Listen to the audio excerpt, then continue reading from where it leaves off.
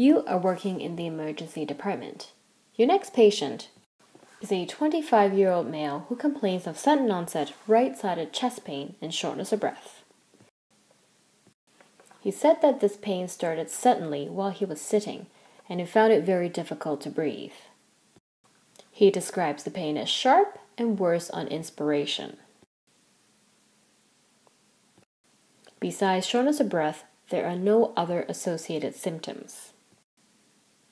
He has no cardiac risk factors and no risk factors for PE. He does not smoke or drink. On examination of this patient, he is a bit tachycardic. His blood pressure is normal. He is tachypneic, and his oxygen is slightly low in room air. On examination of the chest, you notice decreased breath sounds on the right side. There are no wheezes and no crackles. The cardiac examination is normal. You ordered some oxygen for this patient. Ask the nurse to put in a peripheral IV line. Ask for a 12 lead ECG and a chest x ray. The EKG is normal. There is an abnormality on the chest x ray. On the chest x ray, while the left lung is normally aerated, you can see a partially collapsed right lung. You discuss this with the patient and discuss the procedures of putting in a chest tube.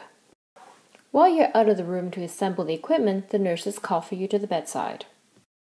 The patient seems to be extremely short of breath. His blood pressure has dropped. His heart rate is high, and it is impossible to take an oxygen saturation reading.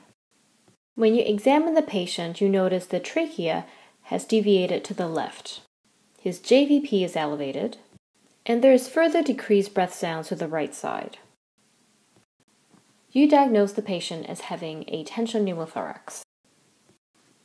You ask for a 16 gauge angiocatheter and insert it into the second intercostal space in the right mid clavicular line. To perform your needle decompression, there is a gush of air as you insert the catheter.